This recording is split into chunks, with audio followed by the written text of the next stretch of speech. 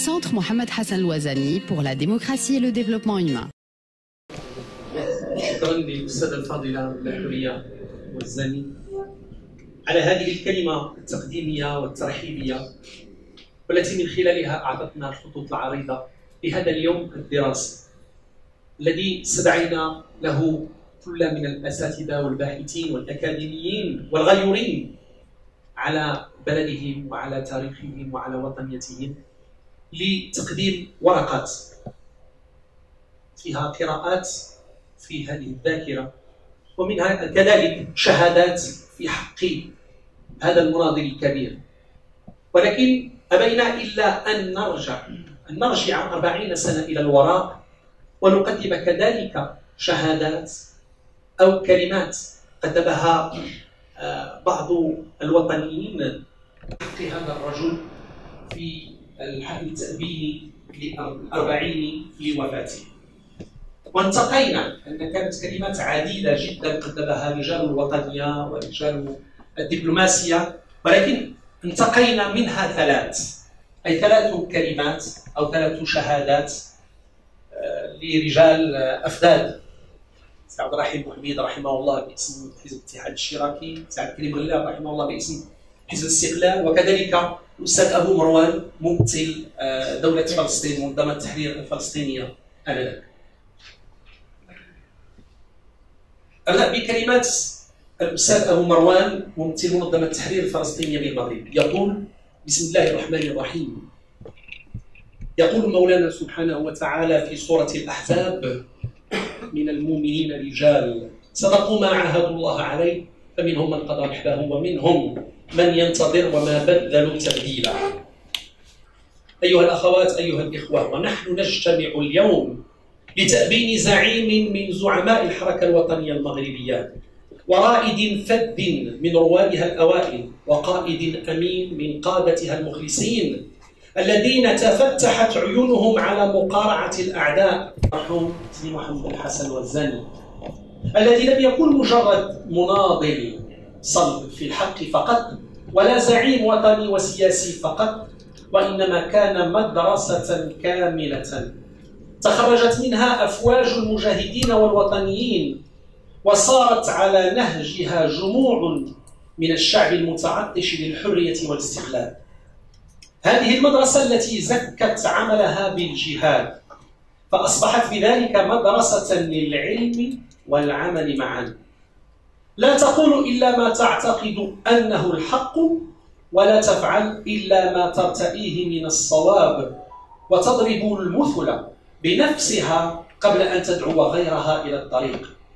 هذا النهج الذي ما حاد عنه فقيدنا طيلة حياته العامرة بجلائل الأعمال. لا في سبيل استقلال المغرب فقط وإنما في سبيل حرية وطنه الكبير وأمته العربية والإسلامية جميعا. هذا هو الزعيم الذي نحتفل بذكراه اليوم. هذا هو الزعيم الذي لم يزده تفتحه على الثقافات الأجنبية إلا رسوخا في الانتماء لهذا الشعب العظيم وإصرارا على تعميق تلاحمه مع أمته العربية والإسلامية من أقصاها إلى أقصاها. ولا غرو والحالة هذه أن يكون الزعيم محمد الحسن الوزاني من أوائل المجاهدين ضد الاستعمار الفرنسي في المغرب.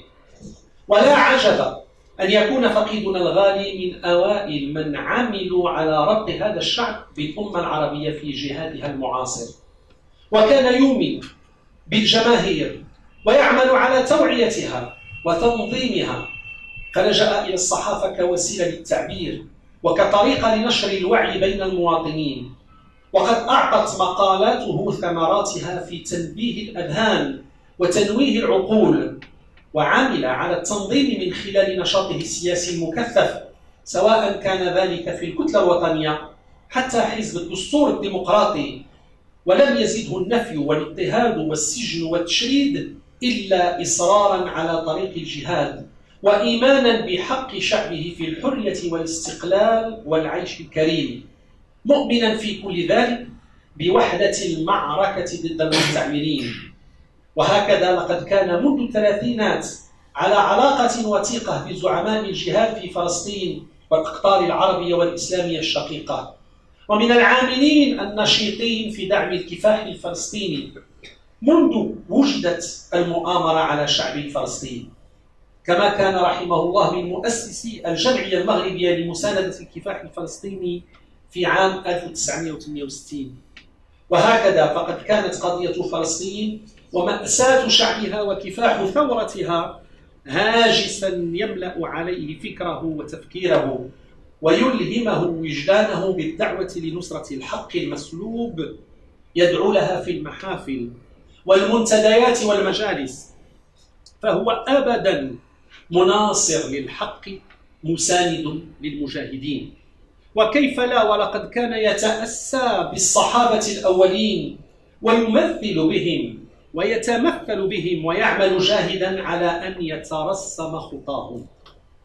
رحم الله فقيدنا البطل وأسكنه فسيح جناته وتقبل جهاده بقبول حسن وعوض المغرب الشقيق عنه خيرا وألهم أهله وآله وأصحابه وتلامذته الصبر والرشاد وألهمنا السير على خطاه وترسم النهج الذي صار عليه حتى يتحقق الأمل ويكتب الله النصر وما النصر إلا من عند الله وإنها لثورة حتى النصر والسلام عليكم ورحمة الله. هذه كلمات ممثل منظمة التحرير الفلسطيني الآن الكلمة الثانية التي اخترناها وهي بالأستاذ عبد الرحيم بوعبيد رحمه الله الكاتب الأول للاتحاد الاشتراكي للقوات الشعبية يقول فيها بسم الله الرحمن الرحيم. سيداتي سادتي إن مناضلي الاتحاد الاشتراكي للقوات الشعبية لا ينحنوا هذا اليوم بكل إجلال أمام جثمان فقيد الوطنية المغربية وفقيد الديمقراطية الحقة الأستاذ محمد بن الحسن الوزاني تغمده الله برحمته. فتاريخ المغرب الحديث تاريخ الكفاح الوطني من أجل التحرير والاستقلال والديمقراطية. سجل ويشهد أن الأستاذ الفقيد كان من الرواد الأولين منذ شبابه الباكر الذين وضعوا الأسس الأولى للحركة الوطنية. وخططوا نضالاتها وكفاحاتها ضد الوجود الاستعماري على كل وجوهه بحكمة وشجاعة وثبات وتفان. متحملين كل النكبات بتضحية لم تعرف أو لم تعرف قط الملل والتردد. وإذا كان الوعي الوطني لدى الجماهير الشعبية على مختلف فئاتها الاجتماعية بلغ ما بلغ إليه من وضوح وعزم وإرادة خلال الخمسينات فإن الفضل وكل الفضل يرجع إلى الأستاذ فقيد وأمثاله من الصادقين الأولين الذين عملوا على نشر الدعوة وعلى تعميق الوعي وعلى تنظيم الكفاح من أجل استرجاع سيادتنا الوطنية ووحدة ترابنا ورفع عار الحماية على شعبنا. والحقيقة التي لا ننساها نحن الجيل الذي جاء فيما بعد لمسناها من أعماق أفئدتنا أن محمد بن حسن الوزاني كان مرجعا وأستاذا ورائدا ومثالا حيا لكل المنظمات والهيئات السياسية والاجتماعية والثقافية مهما كانت اتجاهاتها وأهدافها. فهو من حيث نضاله المتواصل ومن حيث الاختيارات والأهداف التي رسمها جهاده ومن حيث استقامته وأخلاقه المثالية ومن حيث مواقفه الجريئة والحكيمة وفي مختلف الظروف قبل الاستقلال وفيما بعد إعلان الاستقلال فهو إذا بناء على كل هذه الاعتبارات وغيرها ملك للجميع. وتراث مشترك لدى سائر قطاعاتنا الشعبية والسياسية والثقافية. ولربما أهم ما كانت تمتاز به شخصية الفقيد في كفاحه الرائع والمتواصل من أجل بناء أسس الديمقراطية الصحيحة في هذا في هذه البلاد والعمل الدؤوب على تحرير الإنسان المغربي من كل أنواع السيطرة والاستغلال. فقد كان كريم النفس أبيا لا يقبل المساومة في المبادئ.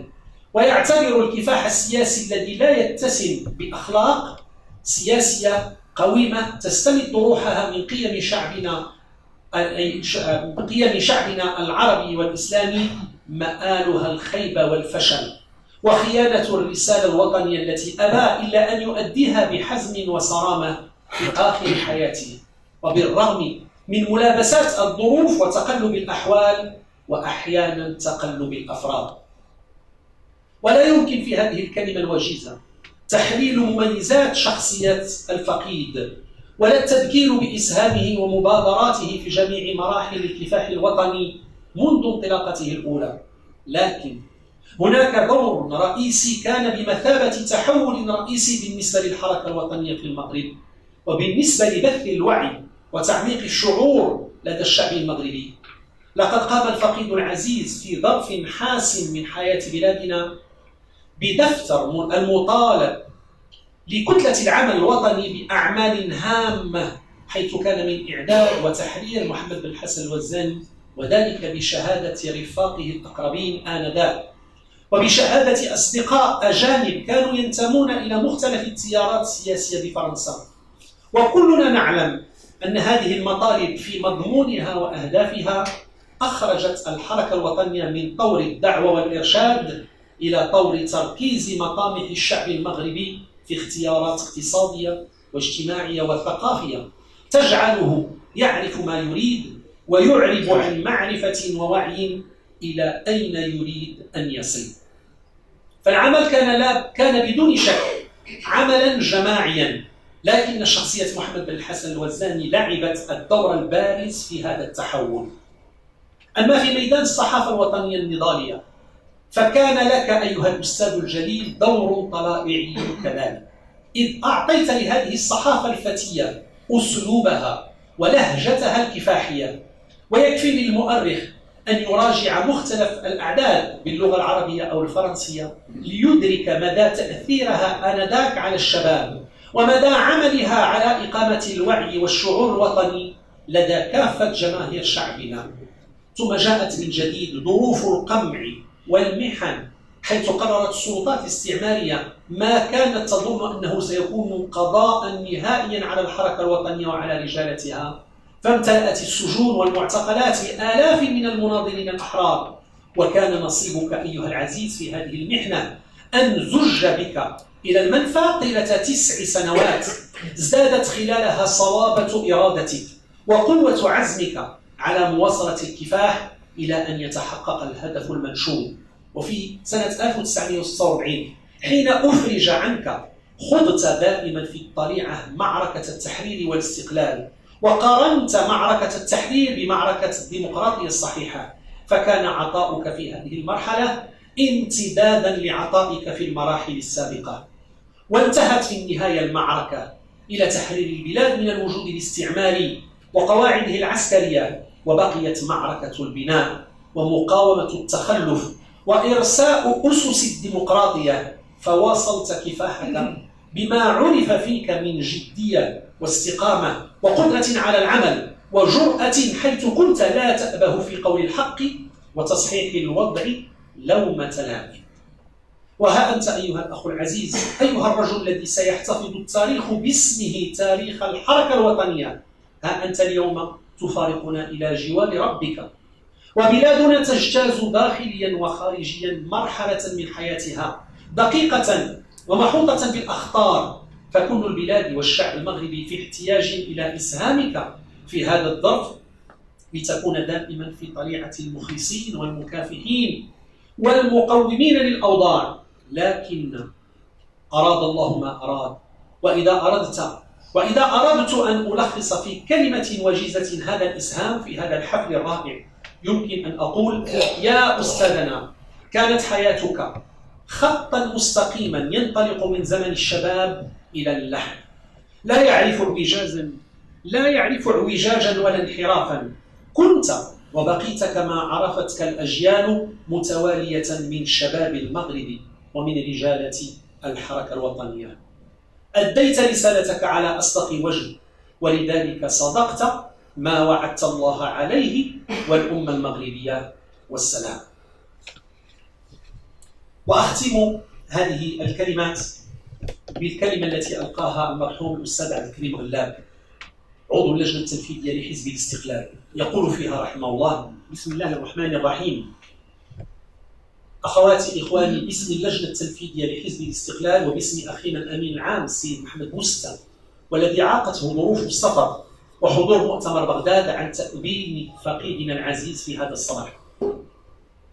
باسم حزب الاستقلال أقدم أصدق التعازي إلى العائلة الصغيرة لفقيدنا العزيز وإلى عائلة الشعب المغربي قاطبة وأقول لعائلته الكبيرة إن محمد بن حسن الوزاني لم يكن وزانيا ولكن كان مغربيا. كان وطنيا يدين بالوطنية والنضال لأبناء شعبه جميعا. وكان مناضلا يعرف نضال الشعب المغربي قاطبة وقد عرفتموه وعرفناه صغارا يوم برز اسمه في حلبة النضال وحلبة القمع الذي تشمئز منه الإنسانية قاطبة. وعرف المغرب اسم ابن الحسن الوزني يوم جلد في دار على يد البغدادي. من هذا المنطلق منطلق القمع والجلد برز اسم محمد بن الحسن الوزاني.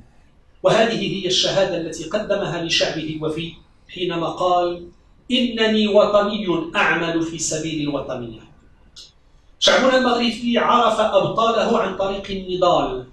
عرفهم وعرفوه وكانت الصلة بينهم هي النضال. وكان الوجه البارز أمامهم هو الجهاد في سبيل الحرية والاستقلال.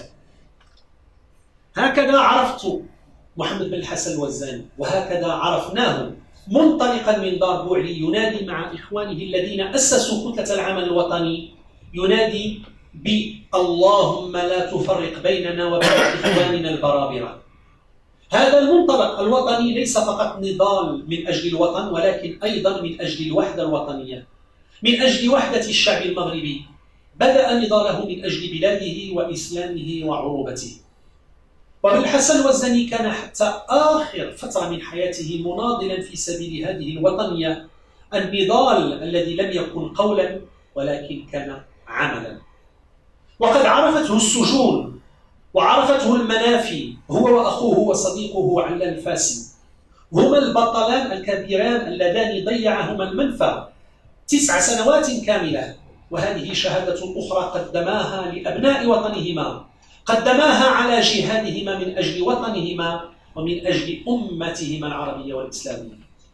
هذه الخطة الفريدة في حياة الزعيم الوزاني هي التي نؤبنها اليوم.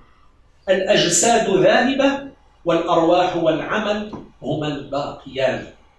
فإذا كان الوزاني مات فقد أعطانا درسا قويا في النضال وفي الاستماتة وفي الذود عن وحدتنا الوطنية إلى النهاية.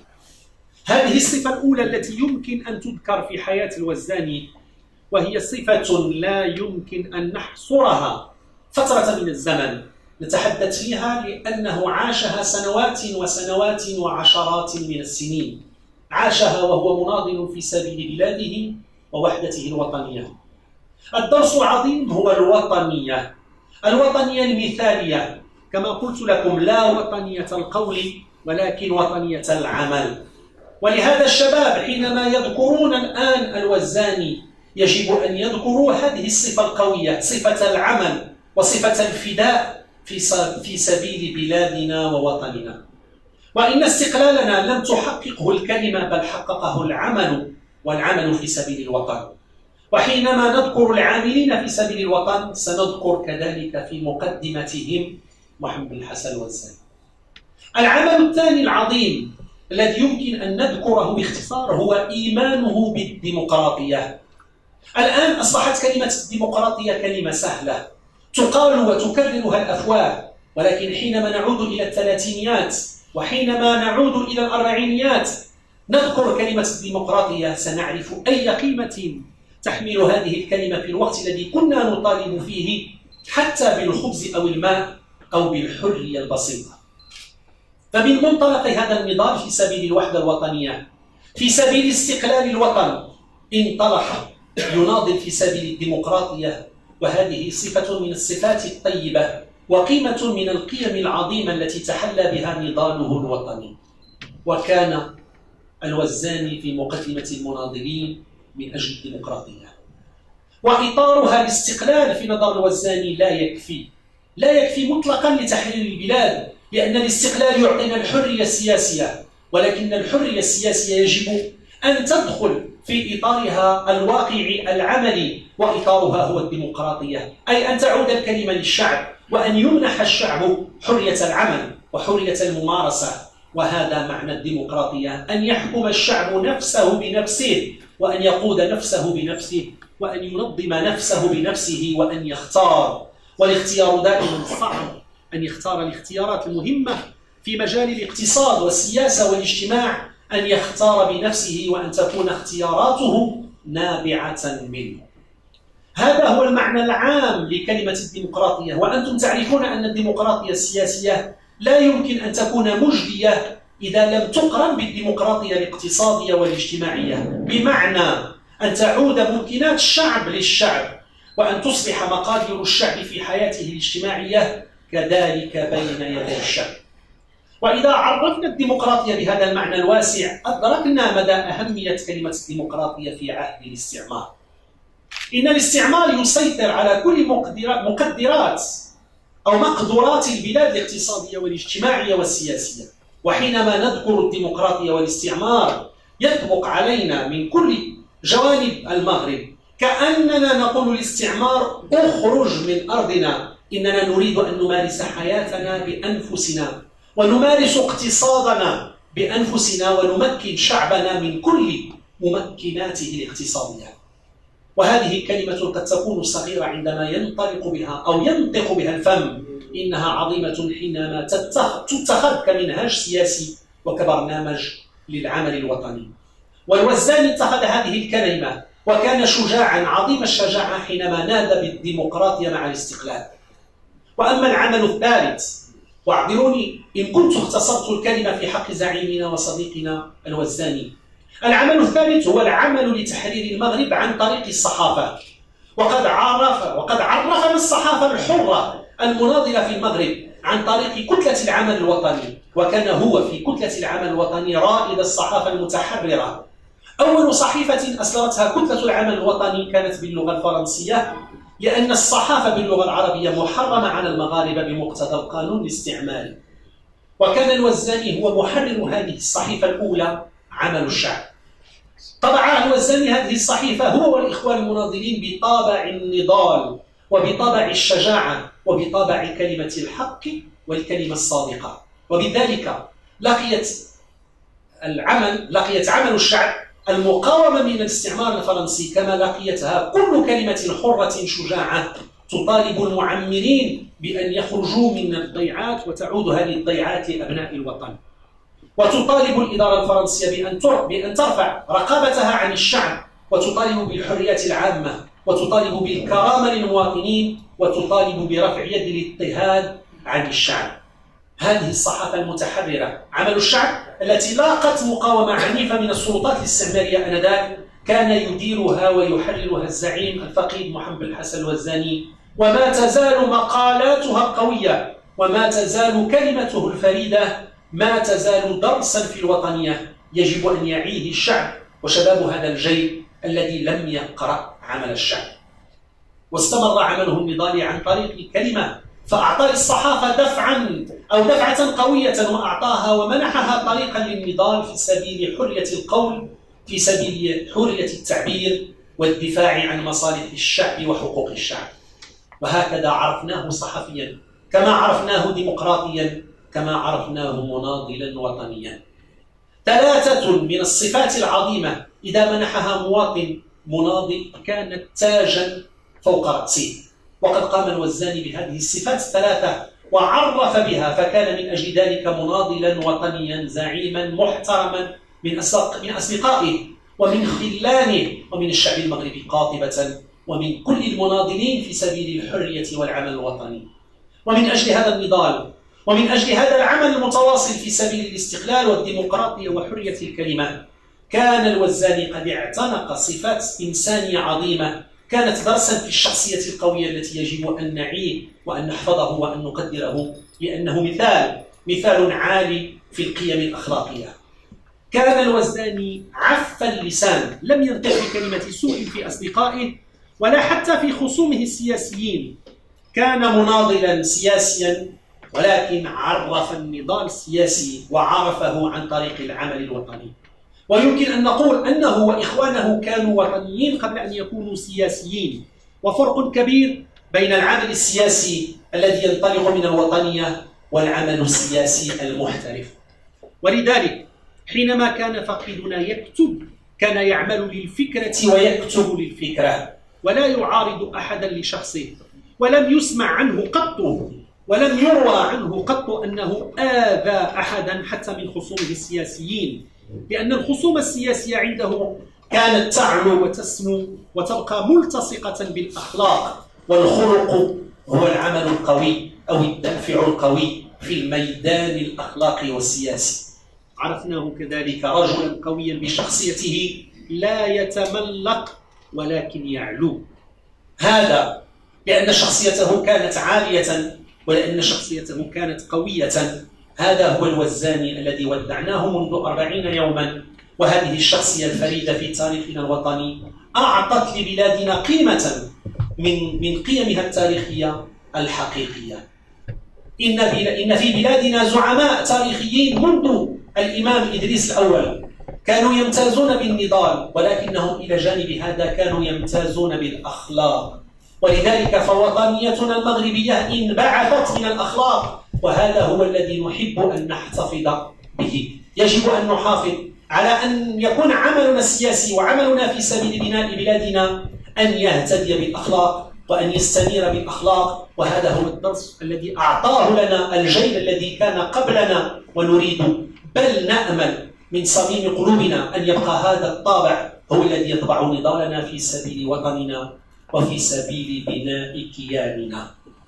يعز علينا أيها الإخوان أن نودع هذه الشخصية الفذة في تاريخنا الوطني الحبيب ولكن قدر الله لا مرد له. وكل ما نطمح إليه هو أن يجازي الله العاملين في سبيل هذا البلد الذين ذاقوا الأمرين في سبيل هذا الاستقلال الذي ننعم به اليوم. وكل ما نرجو ونسأل من الله سبحانه وتعالى أن يتغمدهم برحمته وأن ينير لنا الطريق بهدايته. وأن يشفع لهم يوم القيامة يوم تجد كل نفس ما عملت من عمل محضرا. رحم الله زعيمنا وصديقنا وحبيبنا الوزاني ونفع بلدنا بعمله الوطني وعزاؤنا لأسرته الصغيرة وعائلته الكبيرة. أيها الأحباب هذه كلمات مؤثرة جدا لرجال كبار لمناضلين كبار لزعماء قدموها في حق هذا المناضل الكبير. لأنهم كانوا أعرف الناس به وبتاريخه وبنضاله وبوطنيته وبأخلاقه. لكن هناك من عاش معه. هؤلاء غادروا هذه الدار الفانية. ولكن هناك مناضلين هناك رجال كذلك عاشوا معه وناضلوا معه وضحوا معه. ونريد أن نقدم شهادة حية لرجل لمناضل لوطني غيور عاش هذه الأحداث. وعاش هذه الأوضاع ويقدم لنا هذه الشهادة الحية. ونقدم لكم السيد حمزة الأمين وهو من المناضلين الذين عاشوا هذه الفترة. فله الكلمة مشكورة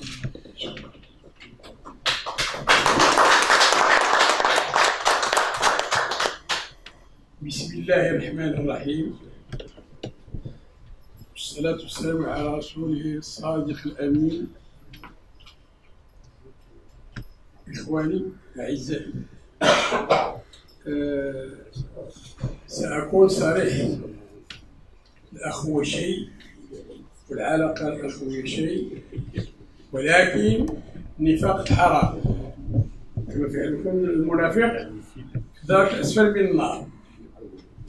نعطيكم مثال 58 وكنا في محنة نحن الشويين ولدت زادت عندي بنت بدات جوج ديال السوايع. واحد الاستقلاليين وواحد الشوريين أنا شوري وعندي علاقة مع الاستقلال علاقة طيبة. لانني معتدل ولبيق وكان امن القضاء الله يقدر وحدثنا حدثنا هذاك ولكن اليوم غنكون صريح إلى أقصى الموضوع اللي غادي اختاريت هو في شهر شتنبير توفي الزعيم رحمه الله. وإحنا الآن في شتنبير اختاريت مذكرة 23 شتنبير 47 لأن العلم في المغرب عندنا هو أننا ما كنقولش كل شيء الشعب ولكن كتب جلسة المسامح إلى خير من حين لآخر عنوان حتى تعرف الأجيال ولا خصهم يعرفوا ماذا حدث في البلاد خلاف انتهى. واللي وقع وقع ويوم القيامة كل واحد غادي يحقق ولكن الناس يعرفوا ما خصهم يعرفوا ماذا حدث لآبائهم وأوليائهم.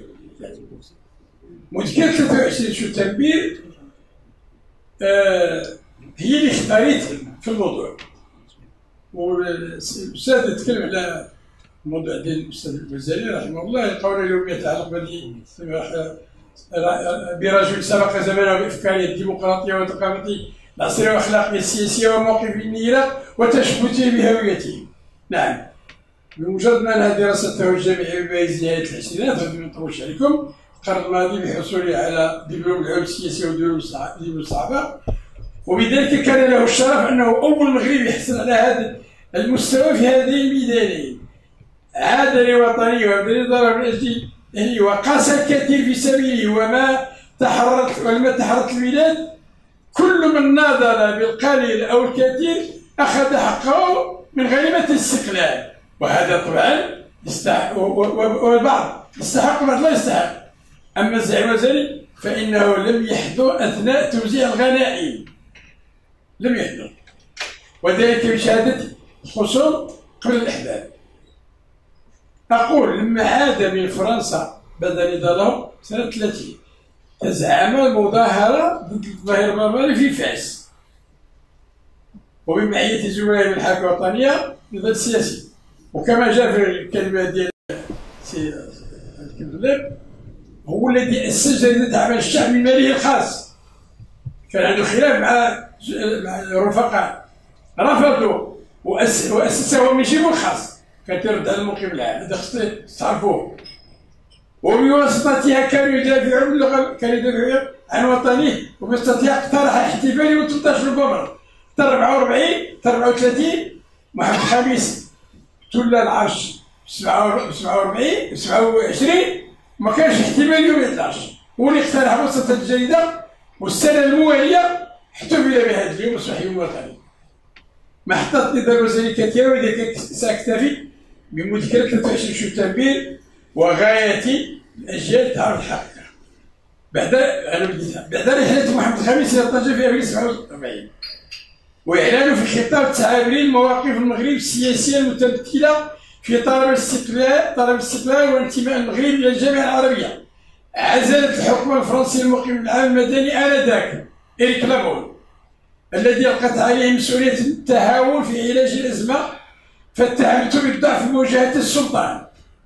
واتخذ واتخذت قرار بتعيين جنرال جوان. على رأس الإقامة العامة.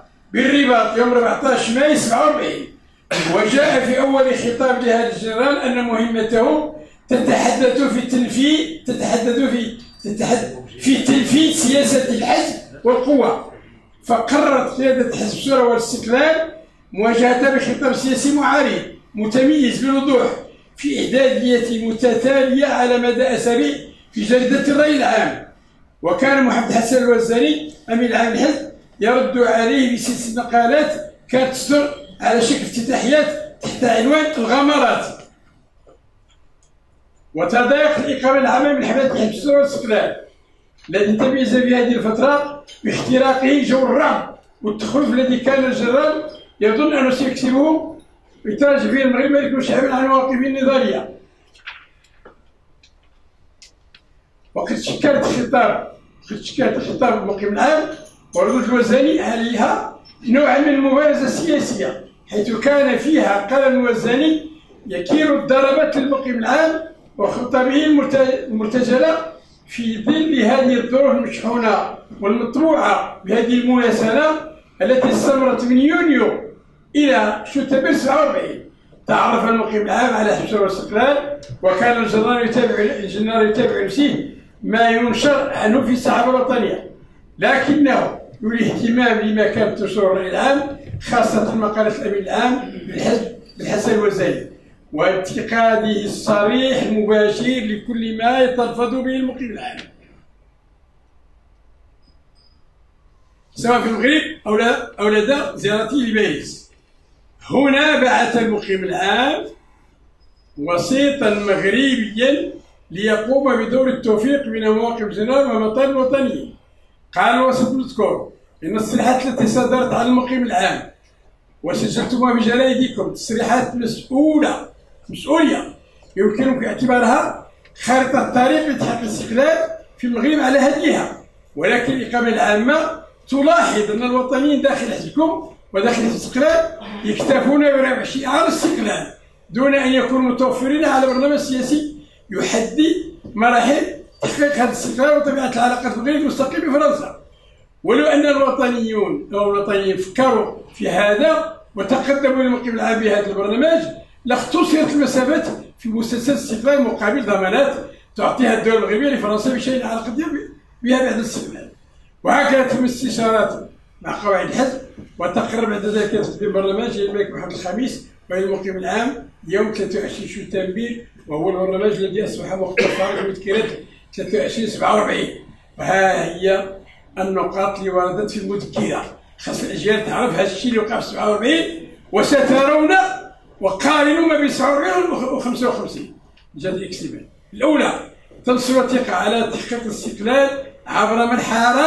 مرحله انتقالية. انتقال كان على هذه لكن في 55 الاخايس غادي يطلبوا بها.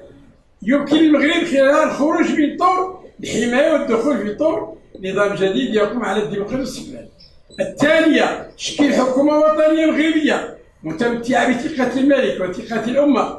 تعطاها المسؤولية الكاملة في قيادة المغرب على ضوء الدستور نحو وطن مستقل الثالثة إنهاء عقد الحماية باتفاقيه مؤقته بين المغرب وفرنسا. ريتم يتم ابرام معاهده نهائية. أساسها التحالف والاحترام المتبادل الرابعه تكوين مجلس وطني يؤتي الرأي العام تسند له مهمة وضع دستور انتبهوا في 47 في نطاق ملكية ديمقراطيه القانون الذاتي والنظام الأساسي للمغرب متمتع بحريته واستقلاله وينص على الثوابت التاليه وإن الإسلام هو دين الدولة وإن العربيه هي لغة البلاد الدينية والقومية والملكية الدستورية. وينتهي بنقل المسؤوليات من أيدي الموظف الفرنسيين إلى الأطر المغربية. الخامسة الغاء النظام العسكري ونظام مناطق الانعدام الامن الذي كان يفصل بين أجزاء الوطن. السادسة تنظيم الجيش الوطني والشرطه المغربيه على أساس استقلالهما الاطلاع بمهام الدفاع ونصر الأمن. كما قرأت المذكرة بمبدا الحكومة المغربية المتمثله في الاستفاده من خبرة الأطر الفرنسية المتخصصة خلال الفترة الانتقالية. وأرسل حزب الشورى والاستقلال سيد محمد العربي العالمي إلى القاهرة لإطلاع الجامعة العربية والحكومة المصرية بمحتوى خصها تعرف الشيء ونشرها في الصحافه المصرية التي فتحت لها عميدتها واتصل مبعوث الحزب للقاهره بمحمد بن عبد الكريم الخطابي الذي أعلن أنه اطلع على المذكرة وأعرب عن اقتناعه بعد دراساتها وتبحيثها بصلاحياتها لحل المشكلة المغربيه مؤكدا أنها ستلقى منه التأييد والتعضيد وتم بعد ذلك اتصال الأمين العام الجامعة العربية آنذاك عبد الرحمن عزام. وبكبر كبار المسؤولين المصريين. واتفق الغفور محمد الخامس مع عبد الحزب. بعدما خصص له استقبال في القصر الملكي وتسلم رحمه الله منه المذكرة التي تنص على تحديد يوم الجمعة من كل أسبوع موعد الاجتماع المتحدثين في القمة العامة. حيث كان حزب وفد الحزب. يحضر إلى بيت عبد الهادي المطر عضو المكتب السياسي للحزب. بالتوارقة في ساحة القصر الملكي. ومنه كان ينطلق إلى القمة العامة.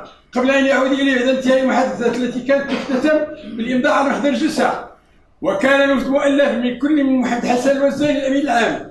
وعبد القادر بن جنون وعبد الهادي الشريبي وحمد العربي العالمي رحمه الله الجميع أعضاء المكتب السياسي وهم الأربعة الذين أمضوا على المذكرة نيابة عن الحزب. إجهاض فهنا جاء الإجهاض اعترض. إحنا خوت احباب لكن الواقع يقول يجي خصها تعرف. اعترض حزب السكر على المذكرة 23 سبتمبر وظل يطلب الملك محمد الخامس وبإلحاح أن يتدخل لإيقاف المحادثات بين الشورى والاستقلال والإقامة الأمنية. ومما زكى عليه حزب استقلال الاعتراضي على مضايق مضايق المذكرة مرور إعلان الاستقلال بفترة انتقالية. أرجوكم تعقلوا على هذه. ستسمعوا ماذا حدث في 55 ومما زاد من انتقاد استقلال المذكرة من المذكرة باش يتابعوا بلا فتور مساعي من أجل إجهاض الحوار إعلان الزعيم الريفي محمد عبد الكريم الخطابي من القاهرة تأييده للمبادرة الشورية. برنامجه السياسي الرامي إلى التأجيل للاستقلال الذي كان بيديه التعاطف بين القطيع بين الخطابي وحزب الشورى وكان من المعروف أن محمد عبد الخطابي يتعاطف مع استعلال الفاسد. هذا الواقع ليش نكروه الواقع واقع على فاسد هنا وموزنين ولكن الواقع صار صار شخصيا الحقيقة هذا الواقع. رحمه الله. ولم تقم بينهما علاقة سياسية تذكر. توجد معا في القاهرة بينما صار التقارب بين الزعيمين الوطنيين محمد الخطاب ومحمد بن زين وبرنامج حزب الشورى السفلي وبالنسبة للجانب الفرنسي فقد أدرك هذا الأخير يعني الفرنسي أن الحزب يريد استدراج استدراج فرنسا إلى التسليم للمغرب والاستقلال. واعتبر ذلك ليس صيغة لصالح التفاوض. وهكذا للأسف كانت معارضة برنامج الحزب من قبل من قبل خصومهم المغاربة الفرنسيين. وقد كتب المرحوم عبد الهادي الشريبي أحد أعضاء الحزب في الحوار بمناسبة الذكرى السنوية التالية للبرنامج السيف 49 مقالا نشره في الرأي العام. قيم فيه المرحلة المبادرة التي فتحت بمقتضاها مفاوضات حول استقلال المغرب والتي سيتم إفشالها وقال لنا السياسي الرهين الذي كان ساخنا سخونة الفيس الفصل في الصيف 49 بالمرحلة الانتقالية التي كانت قد نصت على المذكرة في عام 47 وكان ستعرف طريقها إلى التبرر لولا أن خصوم الحزب أفشلوا الحوار بما أثاره من جدل متسم بالعرف حول حقيقة المرحلة الانتقالية. وحول الفوائد التي كان سيجنيها المغرب تلك المرحلة الانتقالية. ومتمثلة في تكوين الأطروي.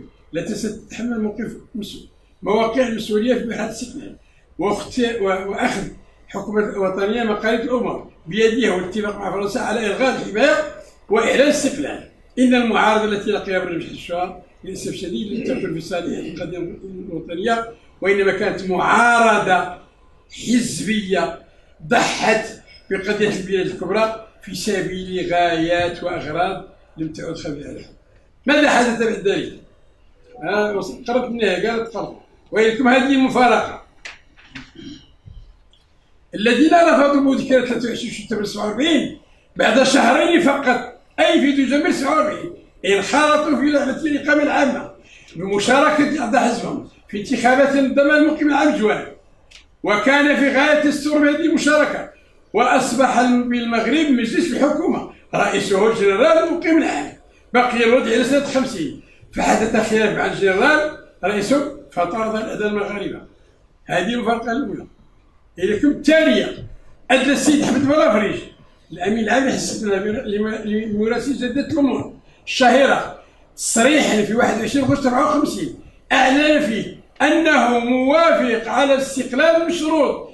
باحترام ورعاية مصالح الفرنسية الثالثة في شهر مارس 55 خلال اجتماع فرنسي مغربي بمدينة ليل أدهش السيد عمر بن عبد الجليل عضو لجنة التنفيذية الاستقلال الحاضرين باعتدال لهجته حيث أكد على ضرورة العمل على تحقيق الاتحاد بين المغرب وفرنسا وقال بالحرف لا للمغرب بدون فرنسا ولا لفرنسا بدون المغرب نشرت جريدة لاكروا في تاريخ 20 ابريل مارس 55 المفارقة الرابعة والخامسة والأخيرة.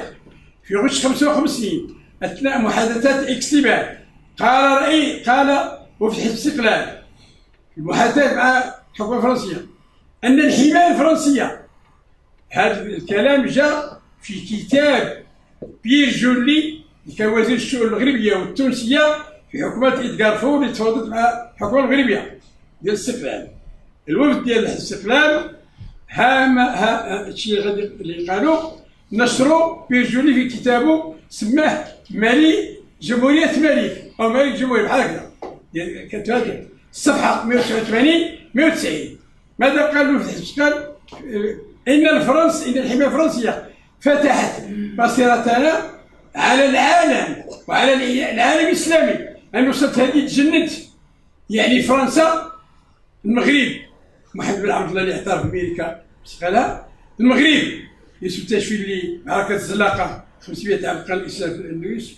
المغرب درس الأول المغرب محمد الخامس المغرب مولاي إسماعيل. فرنسا عرفتنا بالعالم. أعوذ بالله.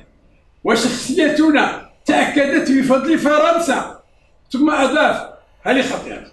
قارنا مع اسرائيل نريد كلمه كلمة حبيب الجميع نريد أن نصبح دوله حرة. ذات سيادة. بمساعده فرنسا. ومستعدون. أكرر.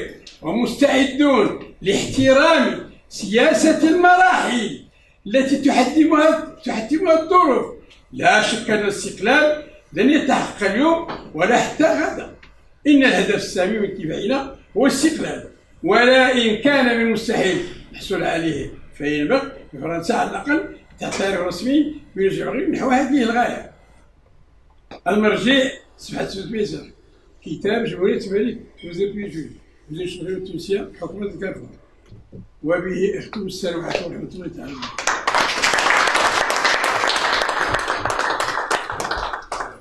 شكرا السيد حمزة أمين على هذه الشهادة الحية. ومملوءة بالعاطفة ولكن نحن أبناء اليوم. التاريخ نأخذه كعبرة لكي نتفادى الأخطاء ولكي نستمر. علينا أن ننظر إلى الأمام وأن نستمر إلى الأمام وأن نبني مغربا قويا ديمقراطيا وحرا هذه شهادات سمعناها في حق هذا الرجل وفي حق أمثاله. رحمه الله أجمعين وجزاهم عن بلدهم وعن وطنهم وعن تضحياتهم خير الجزاء وألحقنا بهم على أحسن حال. نشكركم ونرفع هذه الجلسة الافتتاحية لننتقل إلى الجلسة الثانية برئاسة الدكتور المعلمين فله الكرسي وله الكلمة شكرا لكم.